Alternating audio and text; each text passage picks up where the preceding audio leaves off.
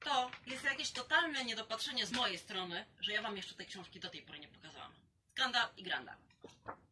Cześć, nazywam się Kajani. Jestem kolekcjonerką, jestem rekonstruktorką. Piszę tematyczne artykuły, prowadzę wykłady i warsztaty, a w tej serii pokazuję Wam fajne książki kostiumologiczne. Moda z Kyoto. Moi drodzy. Ta książka istnieje w kilku wersjach, w kilku okładkach. W związku z tym możecie się z nią spotkać w, w różnych wydaniach. Ja Wam na koniec filmiku wrzucę rysunki kilku okładek i pamiętajcie, że one występują po angielsku, po niemiecku i po polsku.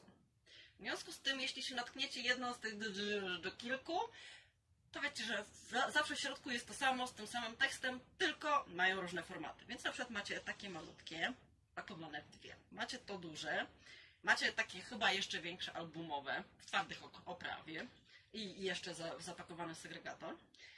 E, książka sama w sobie mm, jest wydana przez Taszyna.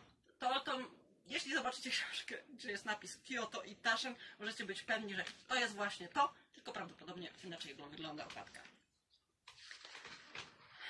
To jest po prostu w pizdu dużo zdjęć. Przede wszystkim. Stroje macie od 18. Proszę bardzo, z takimi zbliżeniami. Do praktycznie. Jezu. Chodź tu, chodź chodź. Współczesności. Ale nas oczywiście interesują te najstarsze. Z, ze zdjęciami w bardzo dużych powiększeniach. Przynajmniej część. Część z tego oczywiście możecie spotkać w internecie.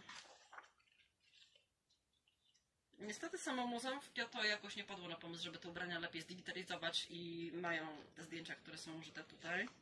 Ja czekam bardzo, aż zrobią dokładniejsze zdjęcia ze wszystkich stron, od wnętrza i tak dalej, bo mają naprawdę przegenialne zbiory. Czekajcie, przyjdziemy trochę. O, to są empirkowe.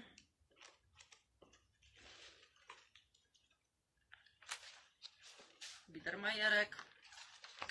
Jeszcze więcej Biedermajerku. Krynoliny. O, proszę bardzo. To jest Dolman, jakby ktoś nie wiedział. Eee, szlafroczek. Czasami noszone były jako suknia ogrodowa tak zwana, ale y, to nie jest do publicznych ogrodów. Na, nie, do, do, swojego ogródka możecie iść i nie pielić, tylko wiecie, kwiatki zrywać. Tiurniury. Kolejne tiurniury. Tam się bardzo podoba, bo jest bardzo inspirowana japońskim kimonem. Ewentualnie jest uszyta z materiału Haftowany to może on nie jest, ale... Stanie biały wzorzysty jedwab, czyli drukowany. No, to, to, czyli inspirowany. Proszę bardzo. Akcesoria, secesja na sportowo. Wiecie, tu jest trochę tekstu, żeby nie było, że nie ma tekstu. Ale w głównej mierze tę książkę się kupuje dla oglądania pierdeliarda obrazków. Tak, to jest jedna z tych książek, do których się można ślinić. Godzinami. Zdecydowanie. O. Ten żakiet w Polsce e, ma dwóch kolekcjonerów, Adam Leja i... Poczekajcie, zaraz wam powiem. E, Piotr Szaradowski. Więc jak, jak będą wystawy strojów współczesnych, to możecie sobie obejrzeć. Przez parę poprzednich lat one wędrowały na różnych wystawach, więc... Yy, bardzo fajna rzecz, zobaczyć jest to na żywo.